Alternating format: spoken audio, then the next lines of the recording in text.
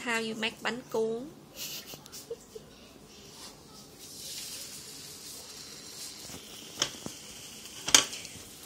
This is rice crepes.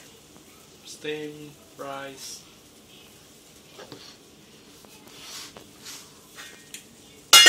What's in the filling? Filling pork, woody mushroom, onions, some seasoning. Up like that. Wow, looks fancy. Easy peasy. And then, what, do you have nước mắm to eat with it? What do you eat it with? Mắm, Okay. mắm pha.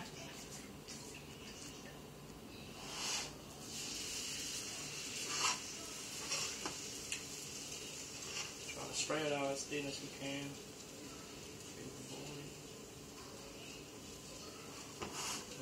Close the lid for the steam to cook it. And while you do that, you put the filling on. Ah. That's how they do it. But in, I think uh, in Vietnam they use the steamer instead of using the non-stick pan. But for the convenience at home, you use the non-stick pan. Alright. Looks pretty easy. Like that. And then next one. Put on the pan, spread out.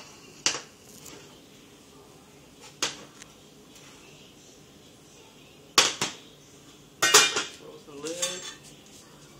Repeat the steps. So how many does that make? That is that one bag or two bags? This is two bags and two pounds of ground pork. Oh my god, Yeah. it's a lot. we like to eat another meat. So in Vietnam, they just give you like a pinch, or in the restaurant, they just give you like